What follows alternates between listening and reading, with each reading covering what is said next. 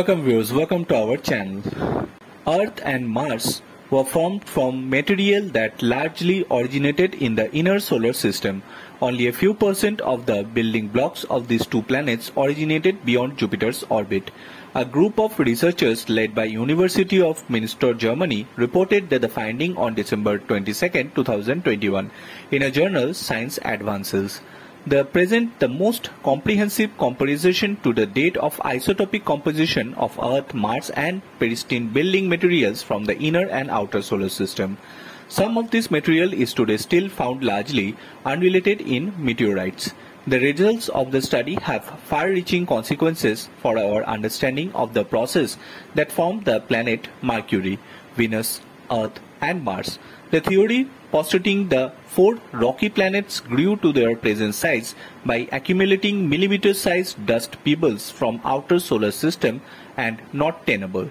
Approximately 4.6 billion years ago, the early days of our solar system, a disk of dust and gases orbited the young sun, two theories describes how the course of millions of years that inner rocky planets form from original building material according to the older theory. The dust in the inner solar system accumulated to ever larger chunks gradually reaching approximately the size of our moon collisions of the planetary embryos finally proceeds the inner planets Mercury, Venus, Earth and Mars.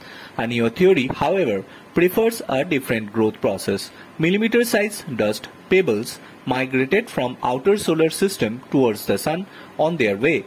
They were accumulated on the planetary embryos of the inner solar system and step by step enlarged them to their present size. Both theories are based on theoretical models and computer simulation aimed at reconstructing the conditions and dynamic in the early solar system. Both describes a possible path of planet formation but which one is right? Which process actually took place? To answer this question, in that current study researchers from the University of Münster, Germany, the Observatoire de la Côte d'Azur, the California Institute of Technology USA, the Natural History Museum Berlin, and the Free University of Berlin determined the exact composition of the rocky planets Earth and Mars. We wanted to find out whether the building blocks of Earth and Mars originated in the outer or inner solar system, says Dr. Christoph Burkhardt of the University of Münster. The study first authored to this end the isotope and the rare mineral titanium, zirconium and molybdenum found in minute traces in outer silicate rich layer of both planets provide crucial clues. Isotope and different varieties of the same element which differ only in the weight in their atomic nucleus.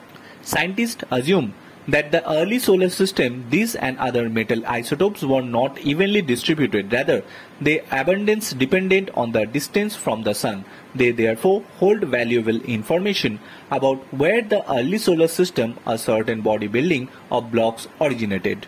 The precise isotope composition of Earth accessible outer rock layers and that of the both type of meteorites have been studied from some time. However, there have been no comparatively comprehensive analysis of Martian rocks in their current study. The researchers now examined samples from total of 17 Martian meteorites which can be assigned to six typical types of Martian rock. In addition, the scientists for the first time investigated the abundance of three different metal isotopes. But the composition of Earth and Mars does not exactly match in the material of the non-carbonaceous chondrite either.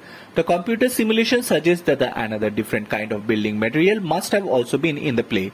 The isotope composition has their third type of building material as inferred by a computer simulation implicates that must have originated in the innermost region of the solar system. Explains Christopher Burkhardt.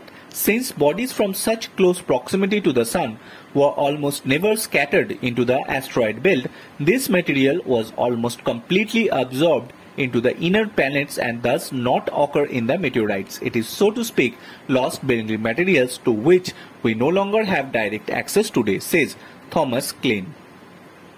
The surprising find does not change the consequences of the study for theory in planet information. The fact that Earth and Mars apparently contain mainly material from the inner solar system fits well with the planet formation from the collision of large bodies in the inner solar system, concludes Christoph Burkhardt. Bureau Report.